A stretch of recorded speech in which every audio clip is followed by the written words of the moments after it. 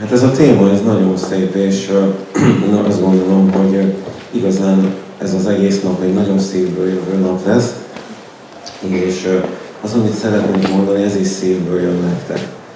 Mindig, amikor beszélek és mondok valamit egy előadáson, az mindig egy ilyen üzenet. Tehát én igazából készülök valamilyen szinten nyilván egy témából, hogy mit szeretnék mondani, de ez mindig, mindig nektek szól az, az üzenet, üzenet, ez egy kicsit mindig más, úgy rátok hangolódva. És hát ez a, ez a mai nap is ugye arról szól, hogy hogyan is lehetünk mi boldogok, hogyan is találhatjuk meg azt, amiért itt vagyunk ezen a Földön, és ami nekünk jót és egyensúlyt ad az életben. Ugye ez a szó, hogy boldogság, ez nagyon szép, és mindannyian erre vágyunk, hát ki ne szeretne boldog lenni, igaz? De most ugye nagyon sok ember, aki nagyon boldogtalan, és nagyon mélyen van, ő már egyáltalán abban is kételkedik, hogy létezik olyan, hogy boldogság. Ugye sok-sok szenvedés, problémák, nehézségek, sárga csekkek, tehát ezek azért az embernek lerontják a hangulatát, de alapvetően az élet nem ez, tehát a külsőségek az, amiben mi vagyunk, az egy forgatag, egy illúzió, és alapvetően a boldogság, bármi hihetetlen, az nem kívül van, hanem belül van. Mindig azzal a dologgal találkozunk mi, odakint, ami bennünk van. A világ az egy projekció, egy kivetülés, belőlem jön mindig az, amit én kint látok. Ezért is tudjátok, nagyon sok spirituális ember, kereső, mindig azt mondja, hogy ó, hát igen, hogyha majd elmegyek Indiába, meg Tibetbe, meg Nepálba, vagy nem tudom hova, na akkor majd, akkor majd biztos nagyon boldog leszek, és hát akkor majd elérkezik az, amit szeretnék, hogy megtalálom életem értelmét. Én mindig azt szoktam mondani, hogy alapvetően nem kell sehova mennünk, mert nem véletlen, hogy ott vagyunk, ahol vagyunk. Ezzel dolgunk van, mi is itt vagyunk Magyarországon, ennek a természeti törvényel összerezvő kis országnak itt ö, van egy szerepe Európa szívében, és nem véletlen, hogy mi is itt vagyunk, és vegyük ezt szívesen, hogy itt vagyunk, mert jó, jó ez nekünk. Megtalálhatjuk a boldogságot mindig ott, ahol vagyunk. Ez a boldogság, ez tulajdonképpen egy olyan állapot, ami a csenddel van nagyon szoros összefüggésben. Mindig azt szoktam mondani, hogy hát röviden csend a lelke mindennek. Minden dolognak a szívében csend van. Minden dolog, ami itt körülöttünk pörög és borzasztóan aktívan zajlik az életben, hát ez nagyon felfokozottan és impulzívan ugye történik, zajlik, csak kapkodjuk néha a fejünket, hogy hoppá, mennyi minden történik. De valahol a dolgok legfinomabb szintjén egy végtelen, határtalan csendesség honol, mondja a védikus bölcsesség, és hát sok-sok keleti filozófia. A dolgok szívében csend van. Ez a csend, ez mozdulatlan. Nincs kiterjedése, nincs formája, nincs aktivitása, nincs miensége. Ugye a védikus bölcselet azt mondja, hogy ahino, ahina, mahino, mahian, kisebb a legkisebbnél, és hatalmasabb a leghatalmasabbnál. Megfoghatatlan ez a csend, de mindannyian, hogyha el tudunk csendesülni és pihenni tudunk, akkor utána érezzük azt, hogy úgy jobb az életünk. Tehát az is, aki nagyon idegileg harcolt életet él, és fel van pörögve, és rohangászik egész nap, mint a mérgezett egér, ő is, hogyha egy picikét lecsendesül, utána érzi azt, hogy jobb, hogy megnyugtató. Ez azért van, mert mindannyian bele vagyunk gyökerezve, mint egy hatalmas fa, hatalmas gyökereivel, ugye nem látszik, de föld alatt ott van, és épp oly fontos, mint a lombkorona, be vagyunk gyökerezve a határtalanság végtelen csendjében. Ez maga az élet forrása. Ez a forrás, ez bennünk van. Nem kell elmennünk Tibetbe, Nepálba és mit tudom én, hogy hova, hogy ezzel kapcsolatba kerüljünk, mert ez mindig bennünk van. Mi mindig össze vagyunk kötve a forrással, csak ugye a nyugati élet, ez a rohanó, tevékeny, nagyon sokat dolgozó, túlhajszolt élet, ez igazából a modern embert elszakított ettől a forrástól, és ez a forrás ez nem tisztán és nem ö, kimunkáltan van jelen az életünkben, hanem esetlegesen, tehát időnként szakadozik a vétel, sőt leginkább szakadozik a vétel, a szenvedés, a problémák pedig azért vannak, mert mi ezzel a forrással a kapcsolatot elveszítettük. A védikus mestereknek van egy nagyon jó kifejezése ránk, nyugati emberekre, akik szenvedünk. Azt mondják, hogy olyanok vagyunk, mint szomjas hal vízben. Hát ez egy nonsens, ugye hogy lehet egy hal szomjas a vízben, hiszen benne úszik a lét óceánjában, a boldogság óceánjában. Hát hogyan lehet ez a hal szomjas? Hát elfelejtett inni. Hát igen, ez a halocska elfelejtett inni. Erről szól tulajdonképpen a védikus tudás, és ugye itt az Ayurveda, a jóga, a tantra, sokféle irányzat van, Upanishadok, a védikus tudás, mind arról szól, hogy tulajdonképpen hogyan tudunk mi ehhez a forráshoz visszamenni. Mert ebben a csendben van igazából minden dolognak a lényege, ebben a csendben van az a forrás, amivel, hogyha megvan a kapcsolat, akkor a boldogság is átjön ide a mi életünkbe. Ugye van három dolog, ami minket igazából megfoszt attól, hogy megtapasztaljuk ezt a bennünk lévő határtalan csendet. Ezt a három dolgot, ezt úgy hívják, hogy elme, ego és intellektus. Hát a, az elméről szeretnék néhány szót ejteni. Mi is az elme, ugye ezzel gondolkodunk. Descartes azt mondta, ugye, hogy gondolkodom, tehát vagyok. Na most ugye Eckhart Tolle, a mai megvilágosodott bölcsök egyike, azt mondja, hogy ez egy alapvető szintű tévedés, mert ez nem az én létezésemről szól, hogy gondolkodom, tehát vagyok, hanem arról szól, hogy van elmém. Na most az elme viszont állandóan rohangászik, a védikus bölcsök azt mondják, hogy olyan, mint egy nyugtalan majom, aki folyton kergeti a banán, de hát soha nem leri, mert állandóan csak kergeti. Amikor talál egy kis banánt, akkor megkajálja, picit jól lakik vele, kell az újabb, és az újabb, és az újabb banán. Sosem tud az elme megbékélni, mert az, amit keres, ő nem tudja, de nem ebben a világban van. Nem itt az aktivitás, a cselekvés, a hétköznapi világ szintjén van. Na nézzük az egót. Ugye az ego az egy görög szó, azt jelenti, hogy hamis én. Hát ez mindent elárul róla. Mi igazából tévesen azonosítjuk magunkat azzal, amit visszatükrözött rólunk a környezet.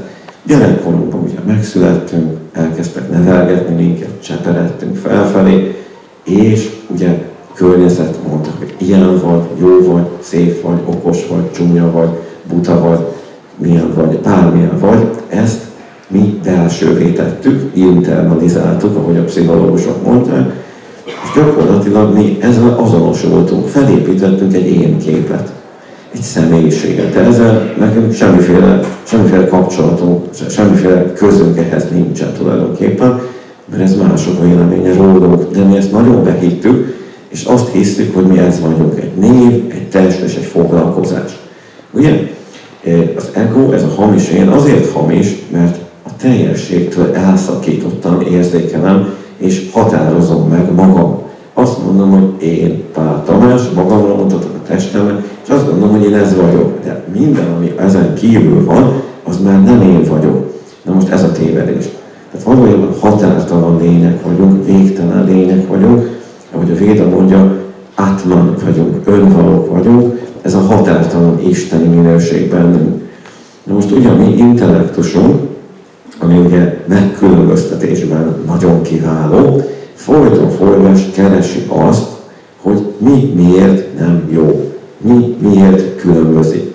Szépség, rúdság, magasság, mélység, jóság, rosszaság, ellentét párokban dolgozik és gondolkodik az intellektus. Igazából az intellektus arra nagyon jó, jó hogy meg tudjuk látni, hogy mi miért rossz, mi, mi miért hibázik. Éppen nemrégiben beszélgettem egy kis csoportra Veszprémbe, tanítványaimmal, és akkor megállapítottuk, hogy már belegondoltok, tényleg óvodáskortól kis feladatlapokon, munkalapokon arra kondicionálják a gyerekeket, hogy keressétek meg, hogy mi a hiba ezen a papíron. Tehát mi igazán kicsinke kortól kezdve ki vagyunk arra képezve, hogy lássuk meg a rosszat, igaz? Na most az, hogy lássuk meg a jót, hát erre nem vagyunk kiképezve, mert az egész oktatási rendszer arról szól, hogy mi különbözőségeket lássuk meg. Most attól, hogy mi kiváló hibakeresővé lettünk fejlesztve életünk során, hát bizony nem leszünk boldogok, mert hogyha meglátjuk mindig az életben azt, hogy mi miért nem jó, mi, mi, mi hibázik még, vagy a partnerünkben meglátjuk azt, hogy hát 98%-ban tök jó, de 2%-ban ez és ez és ez, és egy hosszú, hosszú listát készítünk, hogy mi miért nem jó, Hát akkor baromi biztos, hogy nem leszünk boldogok, mert csak mindig azt látjuk, hogy mi miért nem oké. Okay.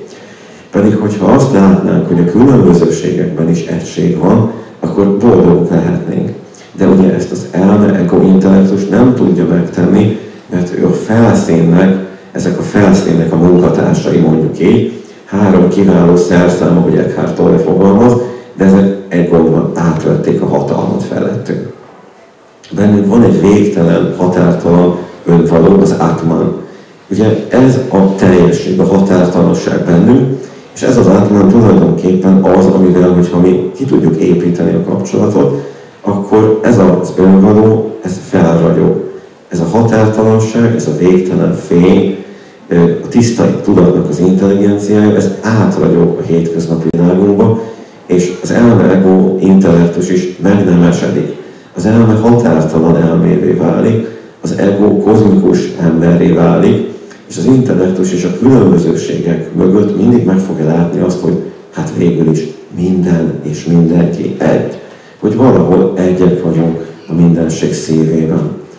Na most nagyon fontos az, hogy ugye technikák léteznek arra, hogy mi megtaláljuk a boldogságot. Ez talán nagyon materialistának hangzik, de tulajdonképpen tényleg erről van szó, hogy nem kell hatalmas nagy hókusz-pókusz, nem kell hatalmas nagy spirituális beavatás, és sok-sok éves kemény küzdelem azért, hogy mi megtaláljuk önmagunk belső forrását, önmagunk létünk legfinomabb szívében, legfinomabb teljességében megtaláljuk a boldogságot. Nagyon egyszerű technikák léteznek erre.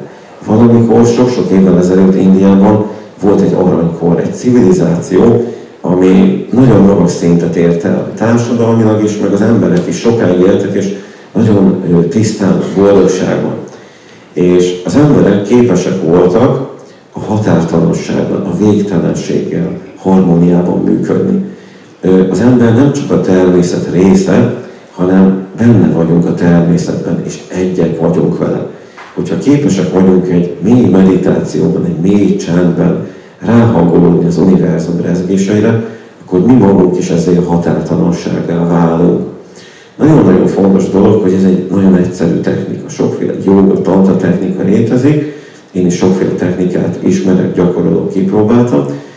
Vannak technikák, amelyek működnek, és vannak technikák, amelyek nem működnek.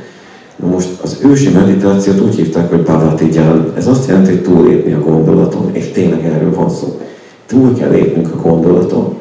Mi a baj a gondolattal? Hát a gondolattal nincsen sok baj, csak az a baj, hogy sok, a belőle, sok van belőle, túl sok a gondolat. Tehát ö, nagyon sok emberrel találkoztam én az elmúlt nyolc évben, közel ezer emberrel. Na most ö, a legtöbb ember, akinek valamilyen problémája van, idegrendszeri bajok, bajokkal keresi fel orvosát, vagy engem, vagy bárkit. Túl sok a gondolat, túl sok a pörgés, túl sok a feszítés. Most ahhoz, hogy lecsendesüljünk, ahhoz az elmét le kell csendesíteni. Az elme lecsendesül, akkor az ön, bennünk lévő önvaló, a határtalan lény önmagát kezdi el tapasztalni, és ez a bennünk lévő határtalanság, a végtelen béke, szeretet óceánja. Akkor leszünk igazán boldogok itt ebben a hétköznapi felszíni világban, hogyha ezzel a határtalansággal fel vagyunk töltekezve. Egyébként, azt mondja Véd a bölcsessége, lehetetlen boldognak lenned, le, csinálhatsz mindenféle mentális technikát, meg programozhatod magad, hogy én most valamire nagyon boldog vagyok, de ez nem valóságos. Ez egy, ez egy képmutatás, ez nem igaz. Akkor vagy te boldog, ha tényleg boldog vagy, úgy belülről. De ha felveszed a boldogság látszatát, és úgy csinálsz, hm, mint hogyha te boldog lennél, de közben borzasztóan szomorú vagy, akkor ez egy hazugság, és nem csak másoknak hazudsz, hanem valójában magadat csapod be. Ez a legszarabb, már bocsánat. De most az a helyzet, hogy ezt mi döntjük el, hogy akarjuk vagy nem akarjuk. Mi képesek vagyunk a forrással kapcsolatot kiépíteni, nagyon egyszerű technika segítségével. És ugye Patanjali a Yoga Sutrák írója 2500 évvel ezelőtt, és a tantra hagyománya, a véda hagyománya mind arról beszél, nevezik bárminek is ezt a hagyományt, amely bemutatja a lényeget, le kell csendesíteni az elmét. Hogyan lehet az elmét lecsendesíteni? Hát ugye nagyon sok ember, amikor beszélgetek vele meditációról, azt mondja, hogy ő nem tudja lecsendesíteni az elméjét, mert amikor becsukja a szemét, akkor rengeteg gondolat jön a fejébe. Akkor azt szoktam mondani, hogy ez remek hír, normális vagy. ha nem lennének gondolataid, hát az nem lenne annyira jó hír. De most ez egy természetes dolog, hogyha behúnyjuk a szemünket, akkor egy kis csendességet, békét, nyugalmat tapasztalunk, de mindeközben jönnek gondolatok is, és nagyon sok gondolat, abban az esetben, hogy az idegrendszer túl van fárasztva. Ugyanis oldódnak a stresszek, és a stresszek gondolatok formájában oldódnak belőlünk, ha behúnyjuk a szemünket. Na most azáltal, hogy csak behúnyjuk a szemünket, és azt mondjuk, hogy na most, akkor én nem gondolok semmire, nem fogunk eljutni sehova. Ugyanis ez nem technika. Ez egy, ez egy elindulás, mert tényleg be kell csukni a szemünket, de azért ennél tovább megyünk. Technikák, amelyek azt szorgalmazzák, hogy koncentráljunk. Koncentráljunk egy gyertyalágra, egy mantrára, a köldökünkre, vagy más dolgokra, teljesen mindegy. A lényeg az, hogy az elmét helyezzük rá egy dologra, és ott borzasztó erőben hagyjuk ott, tartsuk ott. Az elme elkalandozik, akkor vissza kell oda erőltetni. Na most e tevékenység közben az elme oly mértékben kifárad, hogy aztán belezuhan egy mély csendesség állapotba, transzcendálja, vagyis átlépi ezt a mindennapi tudatosságot. Na most ez a végtelen a határtalanság. Ez jó. De az, hogy ezt hogyan érjük el, az nem jó, mert ez annyira kifárasztja a testet, elmét, idegrendszert ember, hogy ennek az élethez való hozzáadott értéke 0, sőt mínusz, 100 forintért vettünk 90 a veszteség. A koncentrációs technikák nem, tehát nem érdemes koncentrációs technikát gyakorolni, mert nem tudunk vele fejlődni. A meditációknak van egy másik halmaza, ezek az úgynevezett kontemplációs technikák. Kontemplálni annyit jelent, mint gondolkozni. Egy szó gondolkozunk, bármi lehet, mondjuk, hogy alma, almafa, almáspite, nagypapám nagyon finom almáspitét tudott sütni egyébként tényleg. Nagyon szerettem a nagypapám, nagyon hiányzik a nagypapám, nagyon jó volt, mikor kisfiú nagypapámmal voltam. Tehát az elmém így kaladozik, egyik gondolatról megyek a másikra, és mindenféle dolgokat közben gondolkozok, és így elpihengetek. A vezetett meditációk, a hipnózis, a relaxáció, autogén tréning, mint hasonlóképpen működik. Van egy gondolat, amin engem vezet valaki kívülről, vagy én vezetem magam. Lényeg az, hogy aktív az elmém.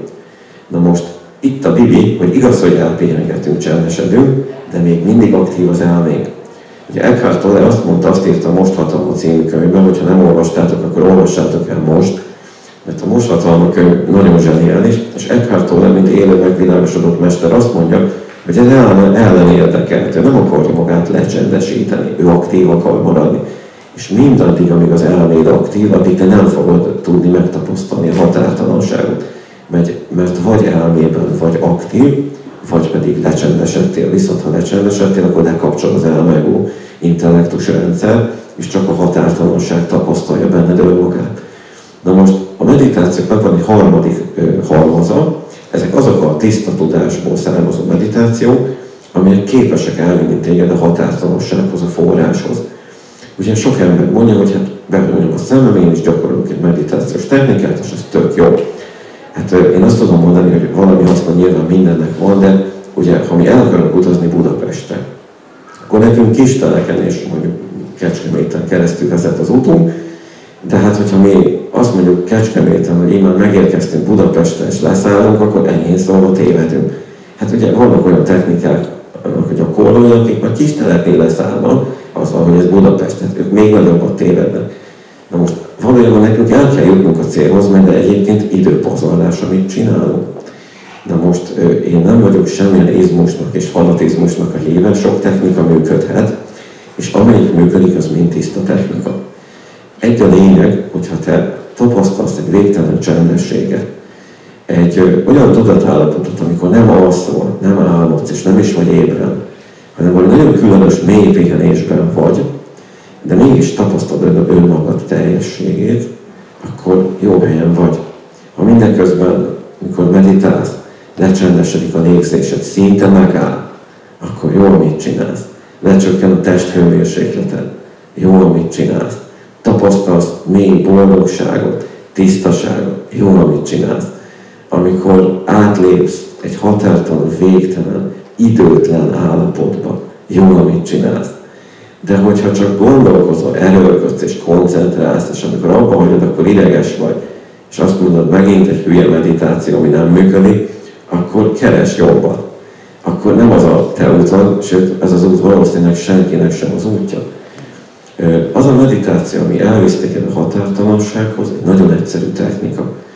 Kell hozzá egy mantra, egy trükk. A man azt jelenti, hogy elme. A tra azt jelenti, hogy jármű. Mantra azt jelenti, hogy az elme járműve. Tudjátok, a gyerekek, annak idején régebben, ezt az én nagypapám is mesélte meg apukám, hogy amikor szánkozni akartak, persze ez hó is kellett, még akkor volt hó is, a lényeg a lényeg, hogy rájöttek a szánkor, és egy pecaboton belógattak a szánkó elé fogott kutyának egy szalon darabot, és a kutya rohant a szalonna után, hogy soha nem ért el, de gyerekek jól szánkóztak mindeközben. Na most mi ugyanezt csináljuk a mantrával, a mantra egy trükk. Mantra egy csali az elmének. Az elme kap egy hangot, egy rezgést, egy szót, aminek nincs értelme. És ez nagyon fontos, mert hogyha ennek a szónak lenne értelme, akkor mi történne? Hát az elme belekapaszkodna.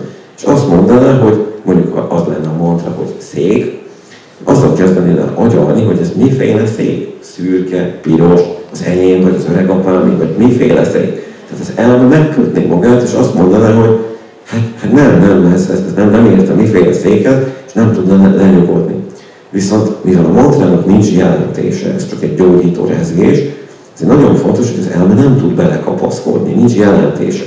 Az elme gondolja ezt nagyon finoman, amit a technikával ezt megtanítjuk, gondolja ezt a mantrát. És az elme érzi azt, hogy ez neki jó, ez neki kellemes. És amikor az elme elcsendesedik, és még jobban elcsendesedik, és még jobban elcsendesedik, akkor eltűnik a mantra, eltűnik a gondolat, és ott van a végtelen határtalan csend. Ebben az állapotban lehet, hogy tized másodpercig vagy benne, lehet, hogy percekig. Ez nem számít. Amikor tisztul az idegrendszer, akkor kijössz belőle, jön a gondolat, kijössz belőle, megint visszatérsz a mantrához, aztán megint oldódnak a stresszek, megint kijössz onnan, megint belemész, kijössz onnan, tisztítod magad tulajdonképpen. Egy olyan technikával, amit nem irányítunk, ez egy irányítás nélküli technika. Ez a technika, amikor befejezed, mit ad neked? Hát mindenképpen azt, hogy kipihented magad. Nagyon klasszul kipihented magad. Mindig azt szoktam mondani, hogy figyeljetek, hát a telefonotokat is felszoktátok dugni a töltőre, igaz? Amikor ott világít az a kis fránya piros csík az akkumulátornak a hűlt helyén, akkor rájössz arra, hogy nem fogsz tudni így telefonálni, föl kell dugni a telefont a töltőre. Akkor feldugod, és 20 perc múlva tudsz megint telefonálni. De magadat mikor szoktad feldugni a töltőre? hát nem igazán, csak nyomod a Red Bull, meg az altatókat, ugye? És akkor csodálkozom, hogy 30, 40, 50, 60 évesen azt mondta, hogy viszontlátásra egy újabb inkarnációt szeretnék itt megélni. Na most az ember nem erre született. Az ájúrvéd és a védikus bölcsesség arról szól, hogy mi bármi meglepő. Azért vagyunk itt a Földön, hogy boldogok legyünk. Mi határtalan, csodálatos, végtelen lények vagyunk, csak erről megfeledkeztünk kell egy technika, amivel fel tudjuk eleveníteni azt, hogy mi milyen csodák vagyunk. Ez a technika képes arra, hogy tulajdonképpen áthozza ezt a végtelent és határtalanságot, és itt a hétköznapi életünk is határtalanná váljon. Ha kipihentek vagyunk, hogy akkor minden remekül működik. De hogyha vallából kelünk fel, akkor ugye el szokták mondani, hogy még a kalmacska is kurva. Hát akkor mindenben meglátjuk, hogy mi a rossz, igaz? Na most nagyon fontos, hogy akkor tudsz fejlődni, akkor tudsz boldogságot megtapasztalni, ha kipihensz vagy. Pihenned kell ahhoz, hogy te határtalanságot be tud fogadni. A meditáció alatt néhányszor 10 percet meditálunk egy nap, ez kinek mennyi, ez nyilván személyre szabad. Tulajdonképpen te meg tudod tapasztalni azt, hogy ez a végtelenség, ez a határtalanság milyen építő, milyen megtermékenyítő boldogságot tud hozni a te mindennapi életedben. Kifinomodnak az ideg, az érzékszervek, és kifinomodik az idegrendszer is. Azt mondja a védikus tudás, hogy minden érzékszer bele van gyökerezve a határtalanságba. Tehát képzeld el, hogy a látás, hallás, szaglás, tapintás, ízlelés, mind az öt érzékszer határtalanná válik. Tehát elkezdesz azt, amit itt tapasztalsz magad körül, elkezded egész más színben látni. Ugye a magyar nyelv milyen zseniálisan kifejezi, hogy ez az ember boldog és más színben látja a világot. Ugyanazt a világot látja ő is, mint az, aki boldogtalan, de ugye ez nagyon fontos, hogy a véda, a tudás, az a látó szemében van. Ha én felemelkedtem, magasabb rezgés szinten vagyok, haladok a megvilágosodás felé, vagy már ott vagyok, ugyanazt a világot látom, mint az, aki szenved. Mégis a tiszta boldogságot fogom mondani, hogy ez a világ, ez tiszta boldogság. Az az ember, aki egy másik alacsonyabb rezgésszinten van, ő a szenvedést fogja a világra rávetíteni, mert őben ez a szenvedés van. A benned lévő határtalanság, ha átjön, és veled van egész életed során, akkor minden klasztó fog működni. A természet elkezdi támogatni azt, amit te csinálsz. Ha művész vagy, akkor gyönyörű dolgokat fogsz alkotni. Hogyha kreatív ember vagy, rengeteg jó, jó, jó dolgod lesz.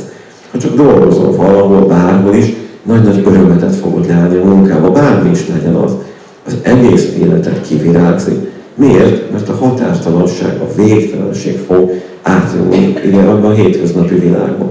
Mert mi csodálatos, határtalan, végtelen lények vagyunk, csak erről elfeledkeztünk. És ha ez elkezd újjáépülni, akkor rádöbbenünk arra, hogy ez a világ, ez a létező világok legcsodálatosabbika.